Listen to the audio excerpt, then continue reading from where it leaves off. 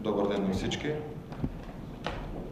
Казвам се Радослав Христов, председател на Националната асоциация на зърнопроизводителите. Темата на, днешната, на днескашната пресконференция, вече както виждате, е обявена и оповестена. ГЕРБ излага предизборно земеделците. До какво ще доведе това?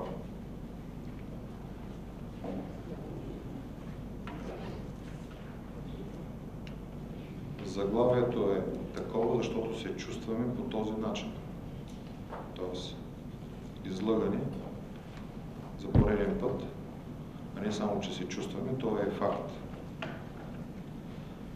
Това, което по-късно ще ви представя, може би вие вече знаете относно подписаните споразумения и финансови рамки, в крайна сметка какво е нова бюджет 2012 година. Искам да дам думата за кратка ретроспекция на диалога ни с изпълнителната власт и да се стигне днес до тук на Ангел Годинов, член на управителния съвет на Националната асоциация на зърнопроизводителите. Добър ден от мене. Аз първо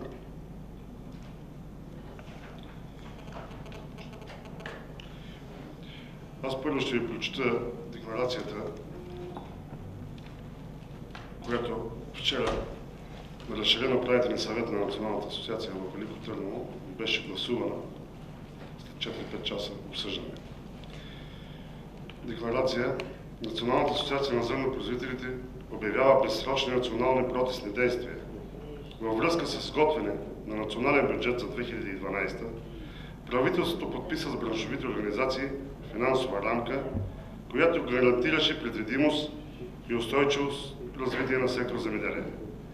При пет подписани документа правителството не спази нито един от тях, с което доказа, че няма морал. Всички в сектор земеделие се чувстваме употребени и омерзени с подписване на финансовата рамка преди изборите, която ни намери израз в проекта бюджет 2012. Учитайки тези факти, наяви изпъква следните изводи. Правителството на ГЕРБ, за разлика от предишните правителства, доказа, че не иска да създава условия за устойчиво българско земеделие. За сметка на това се пристъпва към задкулисно продаване на част от територията на Република България. Имаме предвид Държавен поземен фонд. Предприемането на такъв ход, като антикризисна мярка, при наличие на други възможности, е престъпление граничещо с национално предателство. Недълновидната политика на Министерството на финансите, подкрепена от правителството на ГЕРБ, ще доведе до директно обедняване на голяма част от населението, пряко свързано с селското стопанство и до загуба на работни места. Повишаването на арендното плащане за декар през последните години беше пряко свързано с гарантираното национално доплащане към единното плащане на площата. Липсата на национално доплащане, които са една трета от подпомагането на декар за земеделски стопанства, ще рефлектира пряко върху намаление на размера на рентата и на понижаване на социалния статус на много селски райони. За пореден път алармираме обществото, че липсата на правила в сектор земеделие и политическото желание за въвеждането им ще се отрази пагубно върху един от малкото сектори, които в период на криза влияе положително на външно търговско салдо и на приходите в бюджета. Ще протестираме всички средства, заедно с другите браншови организации в земеделието. През 2009 година пристъпване в власт на сегашната изпълнителна власт, която стъпи, ние направихме много широк форум с всички браншови организации и още тогава поставихме краткосрочни, средносрочни и дългосрочни въпроси и аспекти на политиката в сектор земеделие. Повече от две години ние водим регулярен диалог с изпълнителната власт в лицето на фонд земеделие, в лицето на Министерството на земеделието, в лицето на Министерството на финансите. Еманация на тези диалози бяха подписани меморандум на 8 юни 2010 година, в които бяха набелязани основните цели по отношение финансовата рамка, проектобюджетите, законодателните инициативи и работа по нотификация на безакцизно гориво за земеделски нужди. Още миналата година през ноември месец договориха и условията за акциза, за който ще докладваме по-късно. На 21 март се наложи да излизаме отново по улиците, за да припомним на изпълнените ангажименти, следствие на което беше направено допълнително, допълнително споразумение към меморандума с конкретизирани дати, за които по-късно ще говоря колегата Христов. Отново имаме неизпълнение. Само 20 дни преди изборите на 23 октомври, целият сектор подписахме финансова рамка, до която много трудно стигнахме до консенсус, защото е трудно да се съчетаят интереси на различни подсектори и тя беше подписана отново от изпълнителната власт. Сега отново виждаме, че това нещо не се изпълнява. Ние нямаме други демократични средства, освен протестите, да изразим нашето несъгласие с така водената политика.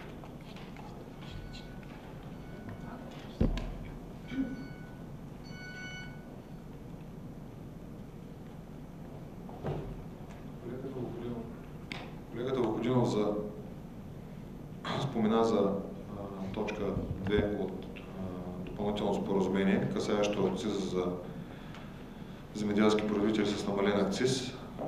Наталия Тодорова, изпълнителен директор на Националната асоциация на зърнопроизводителите, ще каже няколко думи по отношение на как протече в тази си част договореността с изпълнителната власт, какви документи се подписаха и до какво довери това. Добър ден, колеги! Както повечето от вас сигурно са запознати, въпрос с акциза, т.е. с намалената ставка на акциз за горива, ползвани за земеделски нужди, е доста щекотлив въпрос, който а, обсъждането му датира от 2009 година. Още 2009 година започнаха разговори с правителството да може земеделските производители да се възползват от тази помощ държавна. В 2010 година беше подписано в меморандума, че тази помощ ще започне, ще влезе в сила и земеделските производители ще може да ползват намалената ставка на акциза от 1 януари 2011 година. Това не се случи. В последствие от министра на финансите господин Дянков, както той сам призна, че ни е мотал, разбрахме, че ще трябва да се водят нови преговори, изложихме нашите аргументи. Той за пореден път се съгласи, че България трябва, българските земеделски производители трябва да се възползват от такава, такава държавна помощ. И при подписването на поредното споразумение с Асоциацията на зърнопроизводителите, той отново потвърди, че тази помощ за намалена ставка на акциза ще влезе в сила от 1 юли 2011 година. В момента сме ноември месец 2011 година, помощта все още не е влязла в сила. Можем да ви уверим, че с бюджета, който се гласува в момента, се очертава, че и за следващата година българските земеделски производители за трета поредна година няма да могат да се възползват от държавната помощ за намалена ставка на акциза за горива, използвани за земеделски нужди. За разлика от предишните правителства, Както знаете, земеделските производители са ползвали тази помощ през 2007, 2008 и 2009 година. За разлика от другите правителства, това правителство упорито отказва да приложи тази помощ. Изпращана е няколко пъти нотификация до Европейската комисия, която четири пъти вече е връщана с различни забележки, което ни навежда на мисълта, че умишлено нотификацията е написана нескопосано, за да не може да се приложи тази помощ. И по този начин България за трета поредна година ще бъде единствената от 27 страни членки на Европейския съюз, която няма да се ползва от такава намалена ставка на акциза за горива, използвани за земеделски нужди.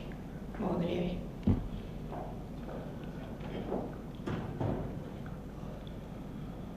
Искам да дам думата на господин Петър Байчев, член на управителния съвет на Националната асоциация на зърнопроизводителите и председател на земеделските производители от Сливенския регион, относно какви са разходите на земеделските производители, какво е състоянието на земеделските производители и дали е действително така, както се тръби от някои хора от изпълнителната власт, че виждате ли, зърнопроизводството и земеделските производители са много добре, че те нямат нужда от подпомагане и така нататък. Благодаря. Заповядайте, господин Байчев. Благодаря. Казвам се Петър Байчев, бе представен. Аз за сметка на това съм, освен зърнопроизводител, съм производител на месо. Имам телеогоително стопанство, имам свинеферма, имам и трайни насъждения, съм запознат с всички сектори, колко е зле положението на всякъде тези сектори. Работя 20 000 декара земя и се гордея с това, че съм в числото на тези 3,4%, които работят 78% от земята, но никъде не се казва, че произвеждаме 85% от благата. А, себестоеността на продукцията, аз ще работя, съм сял за първи път през 91 година, далечната 91 година, точно 20 години обработвам земя. И тогава, говоря конкретно, конкретно за 95-та година, нашата себестойност беше 28 марки. Аз ще го кажа в марки тогава, да се помни. В момента себестойността на един декар продукция излиза около 110 лева. 110-120 лева, ако се извършват всички мероприятия, за да добием 350 кг добив зърно от декар. Каква е действителността с субсидията? Субсидията, която получаваме в момента, европейската за миналата година беше 18 лева, националната беше около 6 лева или 24 лева, някъде получим през миналата година. Тази година колко ще получим, още не знам, знам само, че европейската е 22 лева, на националната не мога да се каже. Само две пера ще ви сметна, за да разберете, че субсидията не е при нас и ние не сме станали по-богати. 2000-та година, много добре помня, имам фактури, 164 лева струваше 1 тон амониева селитра. В момента 1 тон амониева селитра струва точно 620 лева.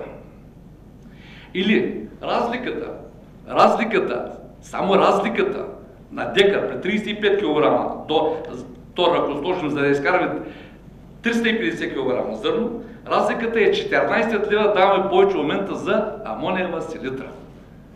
Оттам нататък. Горивото. Горивото тогава, 2000 година, беше 65 стотинки. В момента горивото е 2 лева. Без ДРЗ говоря всичко това нещо.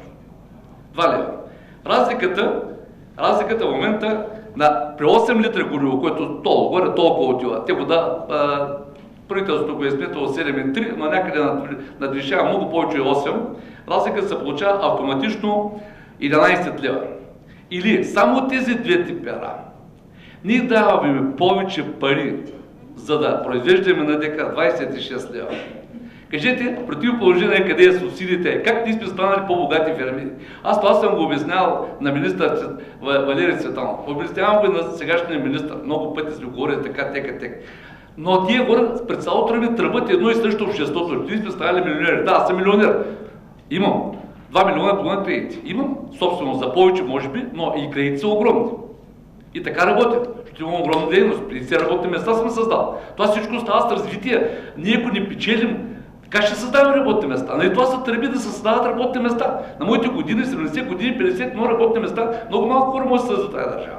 Това се гордия, че съм обществото на тия 3,4 и ще продължава да се гордия. И се обръща към управляващите добре да се задълбочат в нашите искания и в нашите обяснения, които им даваме. Те са много важни, да знаят за какво става въпрос. Висока себестойност на продукцията.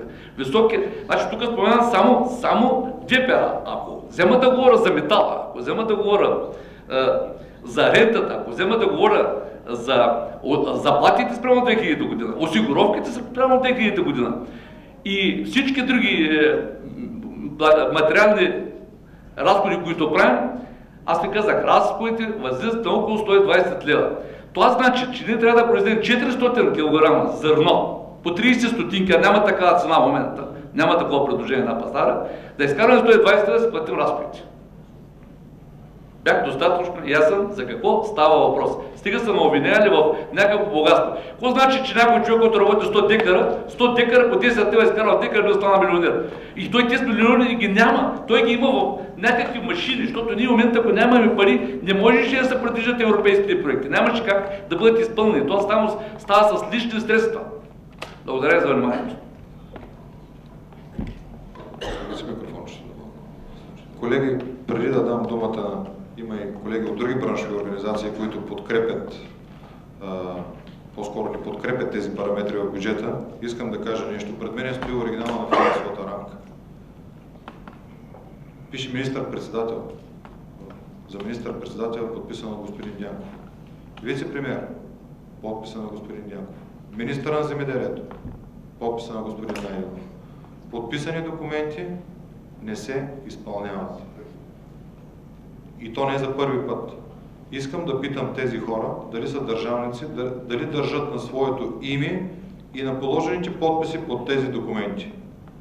С нощи по радиото чух, че Европейската комисия иска да отпусне на Гърция 8 милиарда срещу 5 подписа на техни държавници. Мисля, че ако поставя такова условие на България, няма да има кой да се разпише. Тези подписи за земеделци вече не струват пукната пара.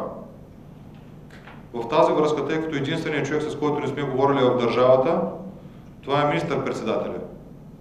Искаме да чуем и неговата дума и той дали държи на положения подпис под тези споразумения и дали ще се изпълнят. Земеделците искат да знаят дали са били употребени предизборно или не. Популистски ход ли е било подписването на финансова рамка общо за сектора или не. Ако параметрите останат такива, означава, че сме били излъгани.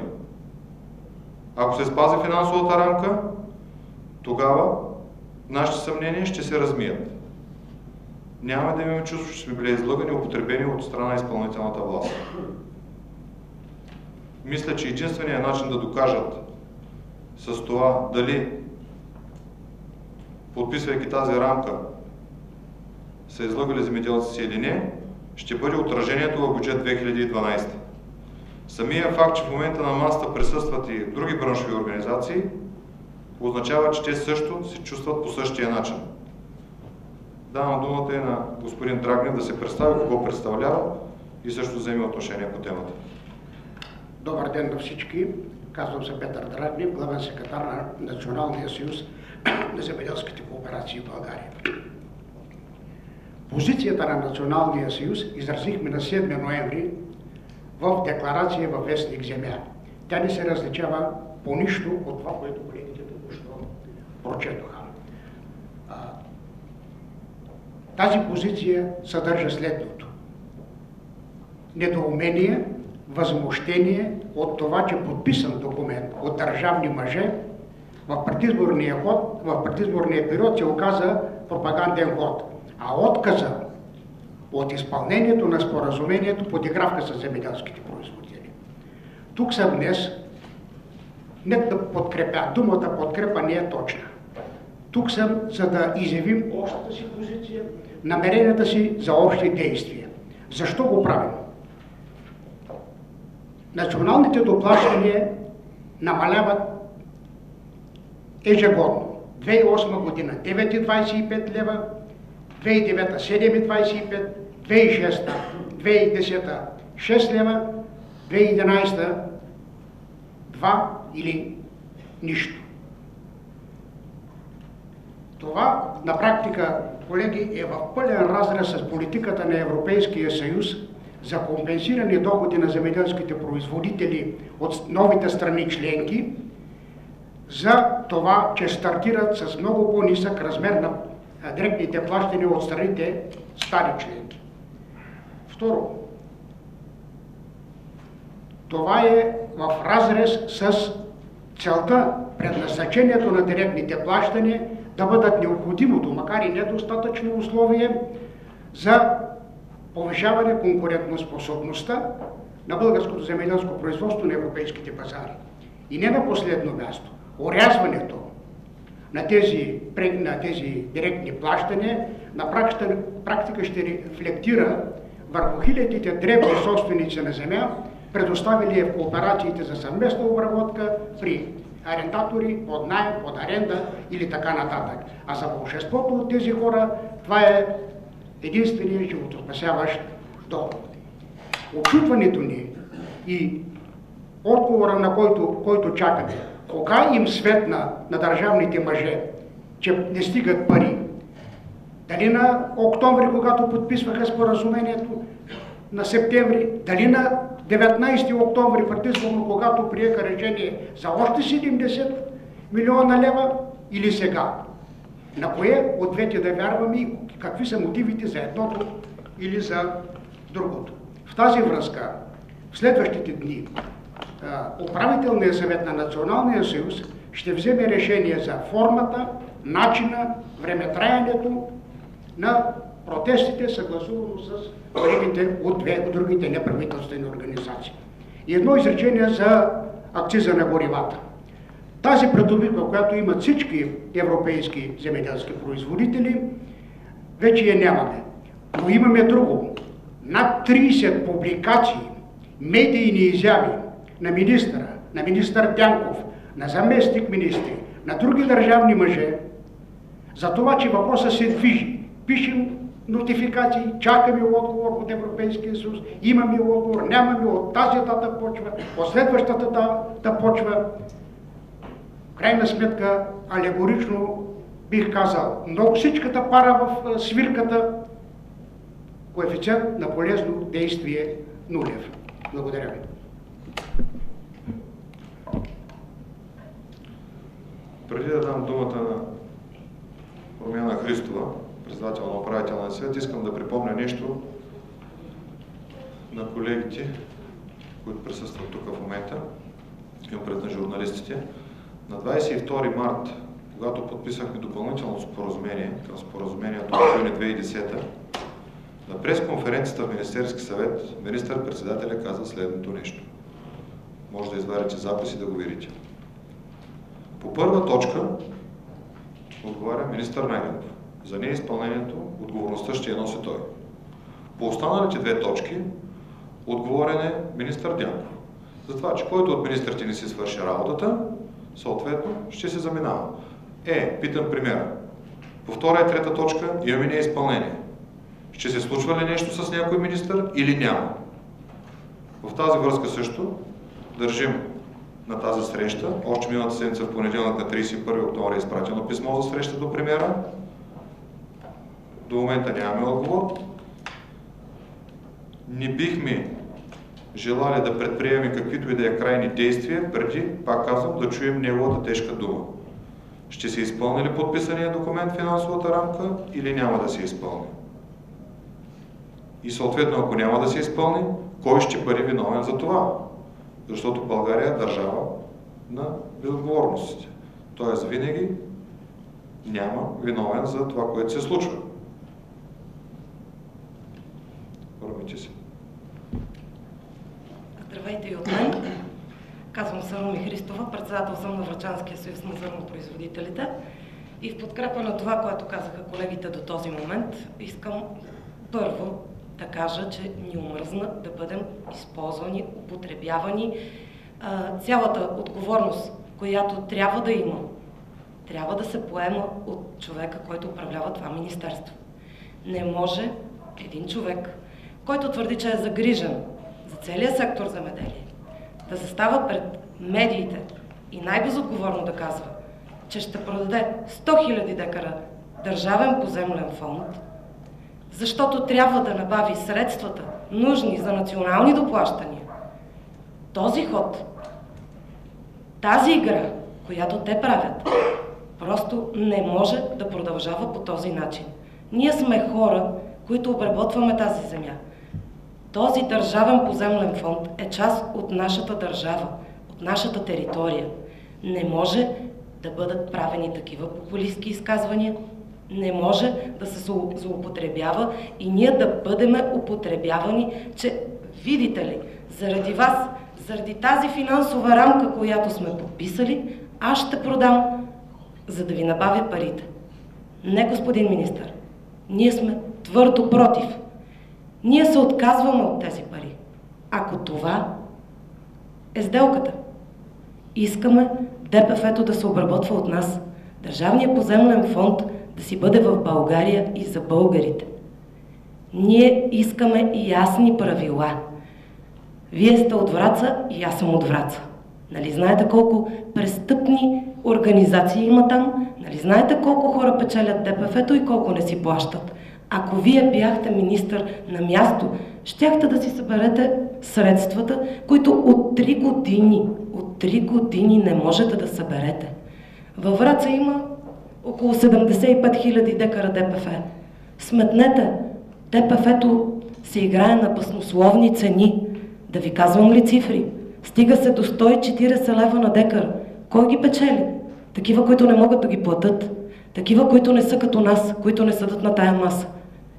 Вие позволявате това нещо. Не направихте законите. Не можахте да за две години и половина при всяка една среща ние искаме да промените закона за ползването, да урегулирате взаимоотношенията между всички ни. Вие не го направихте. В същия момент ставате и казвате, ние ще продадем, за да ви дадем. Не, не сме съгласни.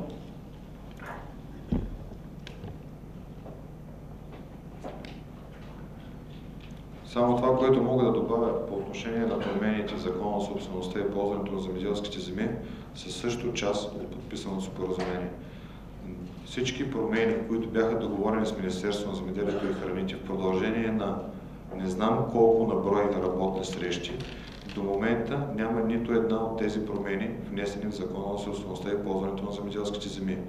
Това щеше да доведе до по-добро администриране на Държавния поземлен фонд и съответно до по-добра събираемост от найемите на ДПФ. И явно някой има желание това да не се случи.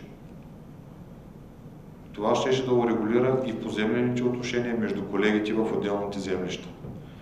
Нямаше да има тези N на брой застъпвания, над декларирани площи и след това да не сочат, че ние сме измамници и че сме искали да източим едва ли не европейските средства по този начин. Искам да дам думата също и на другите колеги, които присъстват днес на масата от другите браншови организации да се представят. След което ще пристъпим към въпроси, ако имате. Пламен Иванов, Национален браншови пчеларски съюз. Искам да заявя, че сме солидарни с организирането на протестните действия от Националната асоциация на зърнопроизводителите. И искам да, попълня, да допълня само председателя Радослав Христов, че по този начин земеделие и аграрен сектор в България не се прави, както правят управляващите. Всички си спомняте предизборните обещания, но много по-назад, повече от две години, че земеделието ще да бъде приоритетен отрасъл. Ако това е приоритетна политика и тук искам да кажа, че без национална стратегия за развитие на, развитие на аграрния сектор, без пари земеделие не се прави. Въпреки, че пчеларството е един от отраслите, в които се намира в най-тежко положение и въпреки, че не е субсидирано и подпомагано от държавата, аз смятам, че е, единението на браншовите организации в момента е силата и те могат да постигнат по този начин своите, своите, е, своите резултати, да се преборят за средства, да се преборят за преференции, да се преборят да бъдат земеделци в България. Благодаря ви. Михаил Михайлов, Национален съюз на говедовъдите в България. Нашата организация обединява браншовите съюзи на 10 области от страната с най-развито говедовъдство. 70 хиляди от високопродуктивните крави са собственост на нашите членове и дават половината продукция от мляко за страната. Неспазването на подписаната финансова рамка ще доведе също и до лоши последствия в нашия сектор, защото нашите фермери отглеждат както и земя, така и използват и нафта за машините, които използват и в фермите. Нашият съюз се присъединява, не само присъединява, а също така настоява да бъде спазена подписаната финансова рамка. Нашето ръководство е в постоянна връзка с колегите зърнопроизводители и ще се присъединява към всички следващи действия, които те ще предприемат. Благодаря за вниманието. Колеги, преди да пристъпим към въпроси, ми се ще още един акцент да отбележим. Вие виждате, че тук присъствате от съвсем различни подсектори на земеделието, колеги. Понякога се преекспонира в пространството, медийното, в политическото, че видите ли, тук едни зърнари работят само за тях и търсят едни средства само за тях. Не, тук става дума за всичките 30 и няколко милиона български декара, които се обработват. Независимо, че се обработват от вид на трайни насъждения, във вид на пасища, във вид на зеленчукови култури, във вид на най-различни култури, които са присъщи за земеделието. Затова тук не става дума само за 10 милиона декара пшеница на България или за няколкото милиона декара царица или слъчоглед. Тук става дума за всички 30 и няколко милиона български декари, които се обработват от земеделците в България. Аз да взема отношение. Въпроса с трайните Искам да спомена тук за трайните насъждения, където членувам в тази организация. Тя е единствената създадена призната от Брюксел, организация на производителите, каза се Българска Праскова. Там, когато създадахме трайните насъждения, аз имам 300 декара праскови, бяхме излъгани отново, че ще получаваме субсидия 8 стотинки и половина на всеки килограм произведени праскови за компоти. Още на другата година, след като ги насъдихме, това беше масло насаждане, хиляди декари трайни насъждения, веднага това беше, тази привилегия беше отнета и това изчезна в празния бир. Сега в тази рамка, подписаната, има някакви пари предвидени там за зеленчуци и трайни насъждения, но няма ли право да ги дават на декар, на килограм, не знам какво си, и ще бъдат дадени кой знае на кой, кой знае как. Още нещо, тук се дават за някакви кучета, за какви цели, тогава го казаха и а, академиците, казваме го и ни. 50 милиона лева се отделят там. 50 милиона лева. И просто не знам тези пари къде ще потъдат, кои джого и аз свързвам някои имена от върхушката с а, тази дейност и виждам така на къде са насочени тези пари. Благодаря за вниманието. Колеги, преди да пристъпим към въпросите, искам да ви изостря вниманието само нещо да кажа. Сещам се отново за думите на министър-председателя, който март месец, когато излезахме да протестираме, се обърна към мен преди пресконференцията и каза, господин Христов, ако имате от тук нататък проблеми във връзка с изпълнението, не излизайте да протестирате, първо се обърнете към мен. Господин премьер, обръщаме се към вас. И искам да кажа само няколко думи относно социалната политика на земеделските производители в България. За миналата година е раздадена рента и найем на земеделска земя върху 30 милиона декара. Умножете 30 милиона декара по средна рента за страната 35 лева на декар. Мисля, че прави малко над милиард. Това са средства, които влизат като допълнителни доходи у нашите баби и дядовци на село. Намаляйки директните плащания и националните доплащания, неминуемо ще даде отражение върху найема за земя. Тоест, те до година ще получат по-малко пари от това, което очакват. Освен найема и рентата, кооперациите плащат също и дивиденти. Тези дивиденти до година няма да ги има. Няма печалба, няма дивиденти. Неминуемо след като имаме увеличение на разходите и намаление на приходите, ние трябва да намалим своите разходи, а найема за земя е едно от основните пера, което ние ще редуцираме. Благодаря, давам думата за въпроси. Конкретизирайте,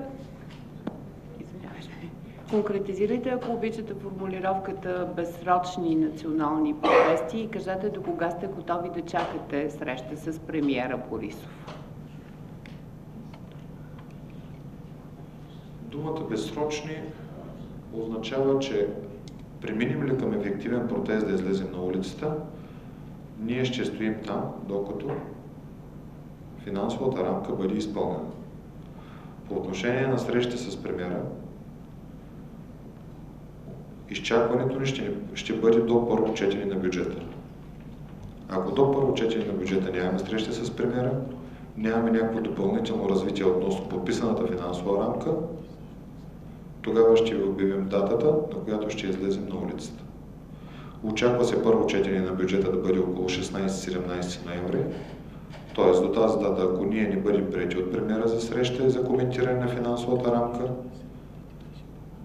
тогава, може би до няколко дни след първо четене, отново ще имаме пресконференция, на която ще видим точната дата и начина, по който ще протекат ефективните протестни действия. Искам само да отбележа, че протест с машини на улицата е последната форма на диалог, до която не желаем да се стига, тъй като две години и половина с изпълнителната власт сме провели редица срещи винаги сме намирали компромисни решения и се надявам този път с премиера отново да го намерим.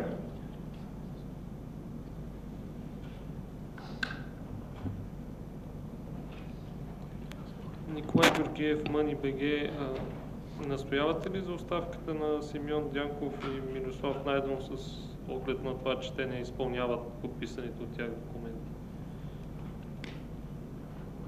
Не е наша работа да говорим за оставки. Тук премиера трябва да се спомни какво е казал, а относно това дали ще има изпълнение или не е изпълнение на споразумението, ще зависи от това дали ще се заложат средства, тези средства в бюджета.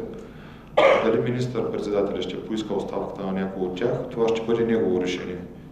Ние не сме ги назначавали, за да ги уволняваме.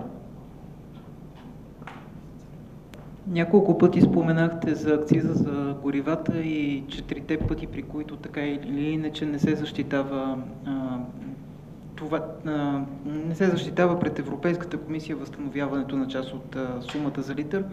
Може ли да припомните по колко стотинки се, трябваше да се връщат на литър и каква е основната причина, която се изтъква като мотив от Европейската комисия, че не се приема схемата за България? Да, ще конкретизирам накратко. Когато говорихме за първи път и определихме параметрите на ставката на акциза, която ще се ползва от земеделските производители, т.е. която няма да плащат, беше следната. За 2011 година от 61 стотинки акциз, земеделските производители трябваше да плащат 17 стотинки, а останалата част от 43 стотинки и половина да бъде преференция, т.е. да не се плаща. За 2012 тъй като има увеличение на акциза по години, от 63 стотинки акциз, земеделските производители трябваше да плащат 10 стотинки за 2012 и преференцията да бъде 53 стотинки. Това, което няма да плащат. И за 2013 трябваше да плащат 6 стотинки акциз, останалата част, мисля, че 57 или 58, да бъде преференция за земеделските производители. Това е като цифри което трябваше да се случи, но до момента няма развитие. Относно нотификацията, каква е основната забележка на Европейската комисия и защо смятаме, че умишлено се подава така? Една от основните забележки на комисията е първо контрол и второ земеделските производители да се ползват, подчертавам дебело, от реално разходваното количество гориво за техните стопанства реално разходваното количество гориво. Какво означава това? Означава, че не трябва да има лимит. По този начин, като се насложат нещата едно върху друго, се стига до извода, че такава нотификация не може да се случи без маркирано гориво. Това нещо е коментирано с Министерството на финансите, те го знаят много добре, но продължават да опорстват и да се опитват за пореден път да нотифицират държавна помощ за гориво с намален акциз по някакъв друг нестандартен начин. Само искам да отбележа, че от 27 държави членки 26 предлагат такава държавна помощ и тя е с маркирано гориво. Явно някой се опитва да открие топлата вода и да направи някаква друга държавна помощ по друг начин. Това, че 2007, 2008 и 2009 беше разрешено на България по този начин, беше поради подписания договор за присъединяване като предприсъединителна мярка. Но от тук наседне Европейската комисия няма да позволи да има лимити и да не могат да се ползват земеделските производители от реално разходваното количество гориво. Тоест лимит от 7,4 литра на декар не може и не трябва да се налага. Зависимост от регионите, които се обработва, културите, които се, се, са по отделните стопанства, животновъдните ферми, птицевъдните ферми, оранжерийното производство, пчела, тук са колегите говедовъдство и така нататък, там трудно може да се направи някаква табличка и да кажеш лимита ти е такъв. Затова по реално разходеното количество гориво, толкова колкото е необходимо с маркирано гориво.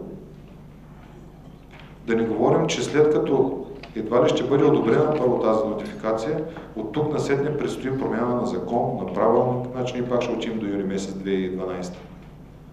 Или реално отново няма да имаме изпълнение на това, което преди малко показах. Тези подписи за нас вече не въжат и не тежат. Единствено премиера може да каже това дали е валидно или не.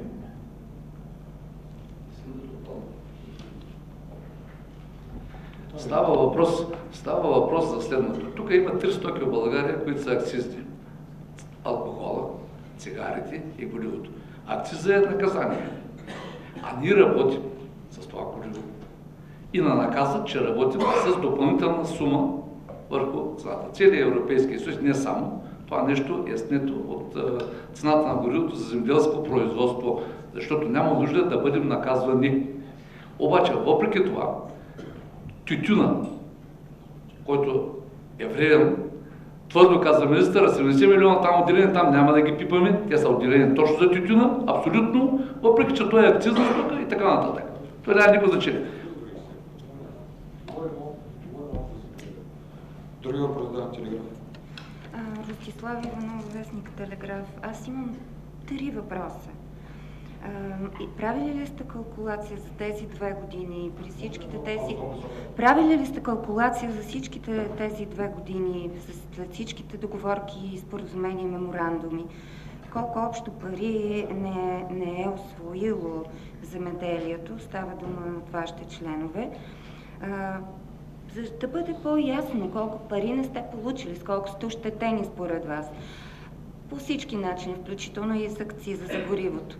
А, одобрявате ли, другия ми въпрос е гръцкия начин на стъчкуване с а, големите машини с блокиране на границите, защото аз мисля, че това е препратката. И третия ми въпрос, който хит не е по-малко важен, а, предвижда се в общата селско-стопанска политика таван на субсидиите до 300 000 евро до 150 хиляди преки субсидии, които няма да се пипат, евро. Милиона ли беше? Милиона. Хиляди, да. Извинявам се. А, вие съгласни ли сте да има такъв таван?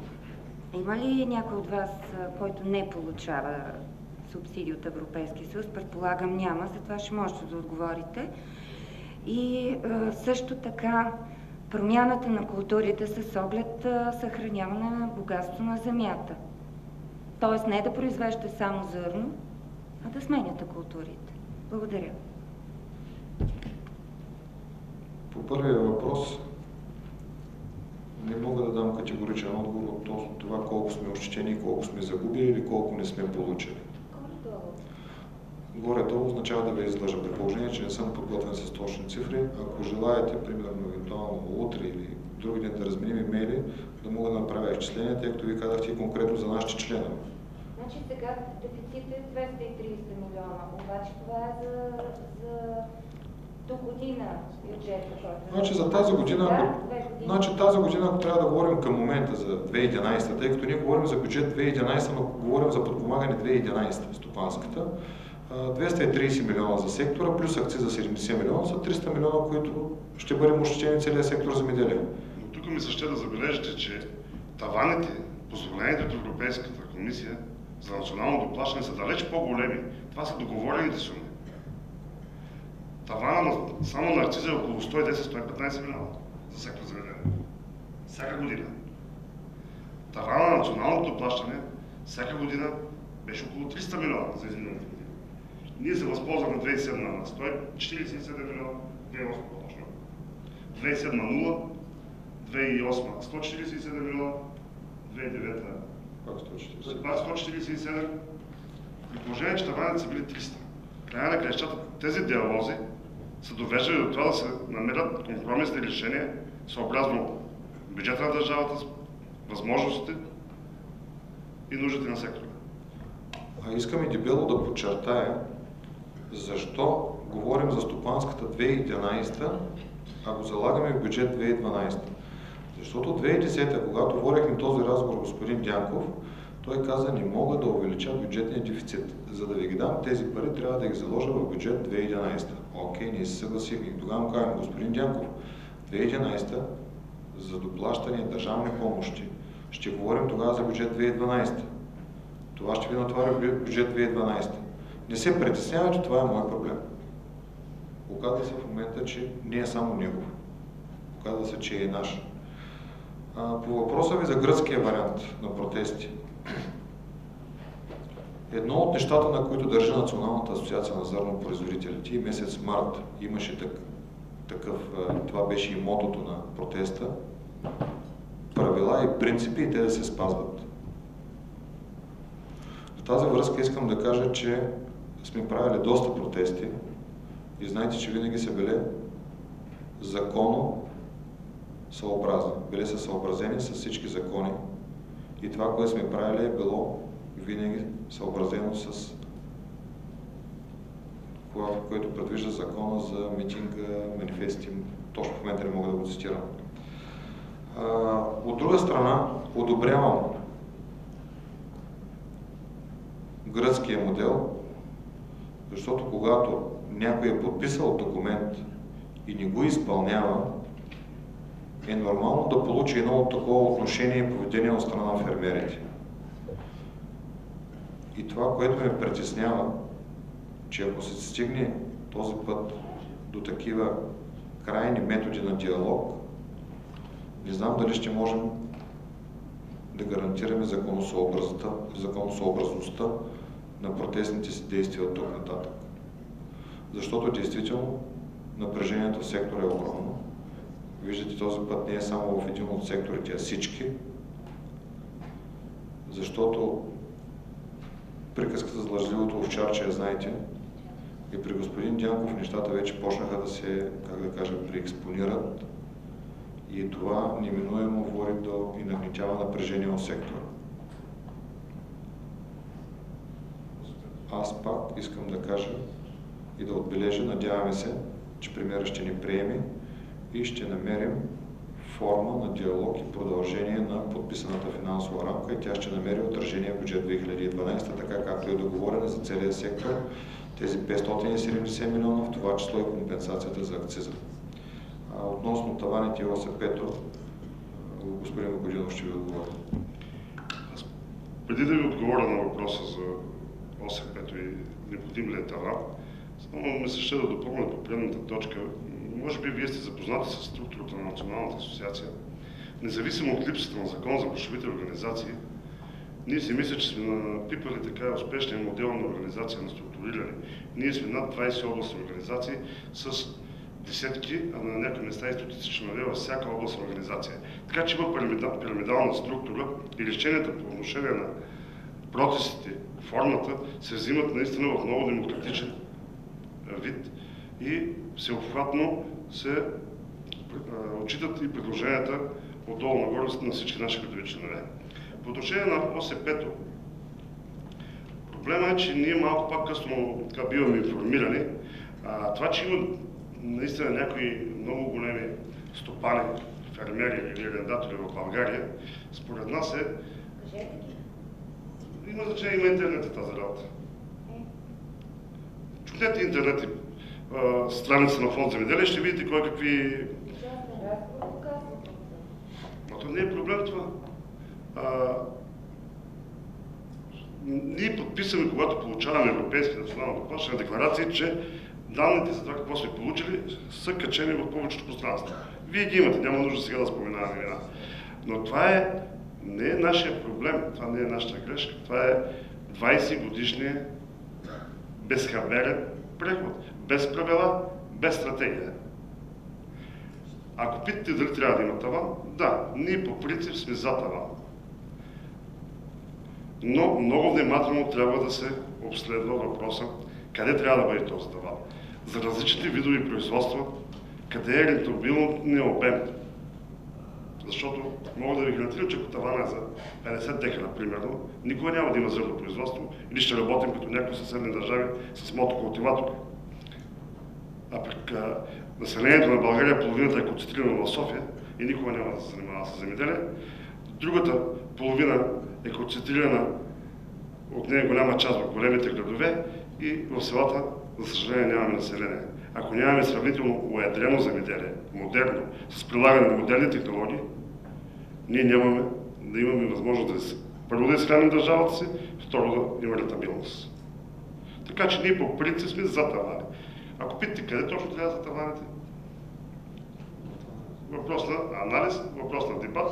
Географската ширина. На мястото, където трябва да сложим тавани. Не ви разбрах въпроса. Е там, където се концентрира най-малкото европейски България. Северна Няма так- България ли са къде? Има и в северна, има в южна, това е различно. Въпросът е конъюнктура. Ако питате нас, във всяко земе ще трябва да има няколко сто- стопански субекта, да има конкуренция. Ние сме за конкуренцията. Само тя е тази, която ражда по-добрия продукт и полза за обществото. Дали ще бъде а, тавана 300 000 евро, както предлага в момента Европейската комисия, а, дали ще бъде повече или по-малко, е въпрос на сериозен дебат. Но ние по принцип сме за тавана. Не искаме да има прекалено концентриране на ресурс в единица субекти. Някой от вас попада ли в тази категория? Най-големият колегата. Все пак, зависи, зависи, Зависи. зависи къде ще е тавана. Нали? Дали, дали ще попаднем или не. А, относно, да, давам думата на Драган само секунда. Относно конъюнктурата, относно производствата, различните производства, само да отбележа защо в България е много трудно да се прави в момента и се отглежда трайни насъждения. Тъй като там ръчният труд е най-голям. Това е най-големият проблем в момента за България. Не може да се намери работна ръка за селско стопанство и затова тези които, култури, които изискват ръчно прибиране или обработване, тях вече почти ги няма. Драгнев. Две думи по тавана. Съюза на земеделските кооперации в България, що се отнася до кооперациите, е категоричен, че там таван не бива да се въвежда. Причините са следните. Една кооперация обработва земята на 2-3 хиляди души, по 5, по 3, 6 декара. Те разчитат на нея. Евентуалното раздробяване съзнателно, тенденциозно, за да се избегне тавана, ще доведе до ликвидация на кооперациите. Между прочим, този таван, който Европейската комисия предлага 300 000 евро, значи, че всички с над 5000 декара практически няма да могат да ползват. Така че този таван по принцип за нас е неприемлив. По принцип е неприемлив. Таван може би трябва да има, но той трябва да уреже уния несъразмерни, бих казал, стопанства. Иначе какво ще направим? Ще върнем земеделието на, на, на, на, ниско равнище на производителност на труда. Аз си представям един арендатор, който е купил техника за милиони. Какво ще прави с тази техника, ако трябва да си натроби стопанството? И защо в крайна сметка? Не случайно, според мен, министъра на Германия е идвал на консултации, защото те имат наследство в източната част на страната стопанства с голям размер. И още едно изречение към това, което господин Христов каза. По отношение на прехвърлянето на пари за 11-та, полагащи се за стопанската 11-та в 12-та. Добре, някакъв момент е имало връзка с а, бюджетния дефицит, но вижте, това става вече рецидив. Рецидив става. Парите за една година в бюджета за следващата. Обещал ги този, обаче ще дойде следващата година.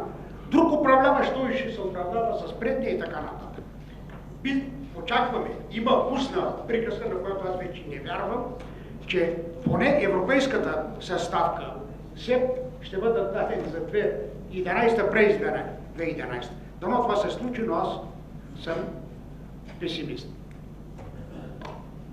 Още повече, че в европейските страни започнаха да се плащат от, от октомври тия подпомагания, така че а, само да ви попитам един последен въпрос. А, на практика не сме ли свидетели на това, за което заговориха и министра на финансите и министра на земеделието още през пролета, при вашите предишни протести, кога- когато се обявиха свръхпечалби и се заговори за урязване на националните съфинансирания още тогава. На практика не се ли реализира сега това с бюджет 2012? Относно това, което господин Дянков каза за свръхпечалбите, е, попитахме го има ли определение за свръхпечалба, той каза, че няма. И къде е границата, нали? има ли такава? До къде е печалба и от кога става свръхпечалба? Отговор не получихме. Попитахме дали е обидно човек да печели, каза, че не е. И го питах тогава, ами ако всички работят на загуба, ще има ли приходи в бюджета? Той каза, няма да има. Ами тогава лошо ли е човек да печели? И защо работи човек? Нали за да печели? Това е по отношение на популистското му говорене за свръхпечалбите.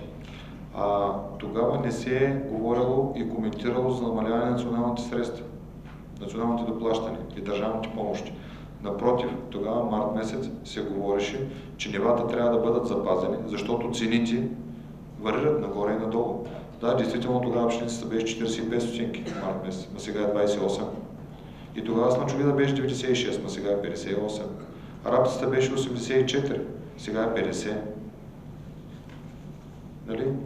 По отношение на цените, кривата никой не може да я предвиди. И затова и тогава разговорите господин Дянков също прие нашите аргументи, че ако към даден момент сектора е добре, утре няма да е така, както е днес, между прочим. Нещата не са толкова розови, каквито бяха пролетта. И затова той прие нашите аргументи, че действително съфинансирането от бюджета трябва да бъде запазено в рамките на тези 300 милиона, говоря специално за сектор зърно производство, и затова и записахме точка, че до края на април трябваше да се направи тригодишна финансова рамка, за да има предвидимост и прогнозируемост на сектора. Да се знае следващите три години кой какво ще получава. За съжаление, ние днес не знаем какво ще получим. Независимо от това, какво пише споразумението. И аз пак казвам, аз се срамувам, че моят подпис стои по тази финансова рамка. Нашите членове ни питат, господин Христов, нали ви го разписахте? Тогава нали им повярвахте? Сега какво се случва? 12 часа, не знам. има други след нас. Извинявайте, имате своите основания да не сте, е, да, своите основания за всички тия искани и неизпълнени ангажименти, обаче единственият аргумент към вас поставят ви под общ знаменател, наричат ви зърнени милионери. Отгледахме си зърнени милионери. Не знаете, това са заглавията. Значи как ще отговорите пък точно на това?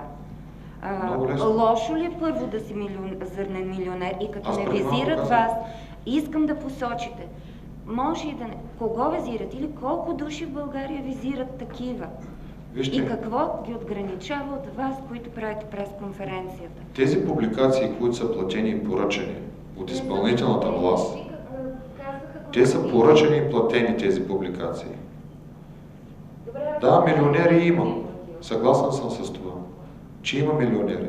Но аз преди малко отвън ви казах, във всеки сектор има милионери. Не само в нашия. Въпросът е колко са те. И преди малко, когато отвънка с вас коментирахме цифрите за тези пословути министра, които даже и в Брюксел ги повторя онен ден, че 3,4% получавали 78% от субсидиите, искам да ви кажа, че като извадим само една фирма, този процент се променя коренно. Той е от 3 става 13, защото тази фирма нарицателната обработва 1 милион декара. И като я извадите, ние от тези 3,4% се качваме на над 10%, което е напълно нормално. 120 000 земеделски производители, т.е. 10% са 12 000. Разделете го на 28 общ- области, колко прави в област? Ми прави по 500. Малко ли е 500 субекта да обработват 80% от обработваемата земя? Те правят и брутен продукт 80%. И във всяка една економика има едно неписано правило, че 20% от работещите в даден економически отрасъл държат 80% от пазара и създават 80% от продукта. Това е всяка една економика. При нас не е по-различно. И в крайна сметка говорим, пак повтарям, подпомагане, което касае целия сектор и 120 000 земеделски производители. Ако, ако говорим в енергетиката, няма ли също големи? Колко процента от енергетиката, от производството, колко процента, колко процента държат? Там не е ли още по-страшно? За мобилните услуги да говорим ли? Там колко фирми са? Колко процента, колко процента държат? То е едно и също. Единият произвежда някакъв продукт и ние произвеждаме продукт, но нашия се еде.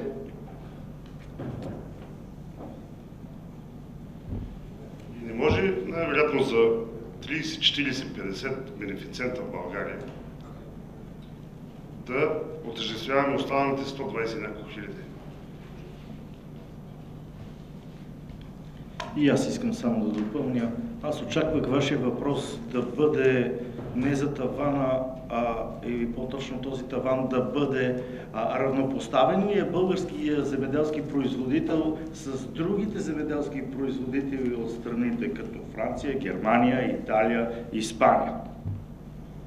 Значи, разбирате ли, че ние сме неравнопоставени абсолютно, ние сме тотално стъпкани и тук, подкрепяйки председателя на зърнопроизводителите Радослав Христов, аз трябва да ви кажа, че не само сме смачкани в Европа, а и нашите управляващи в момента ни мачкат. Разбирате ли?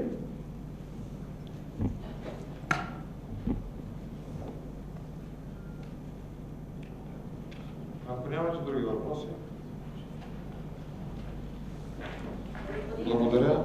Закривам пресконференцията. да ви запиша.